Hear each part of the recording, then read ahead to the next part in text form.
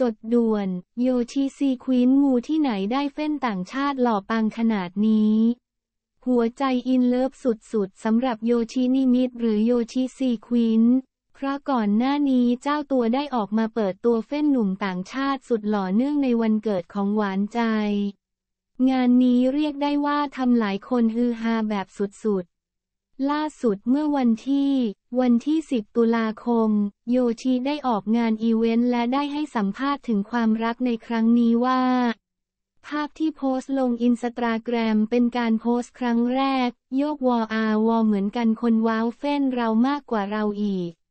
ไปขอที่พระตรีหน้าเซ็นทรัลเวิลด์พระตรีคือแรงมากช่วยได้จริง ๆ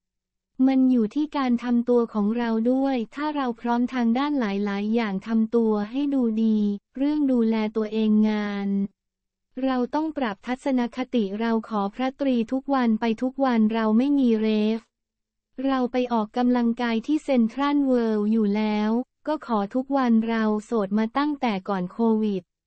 หลังจากนั้นเราไปอเมริกาแล้วเจอเลย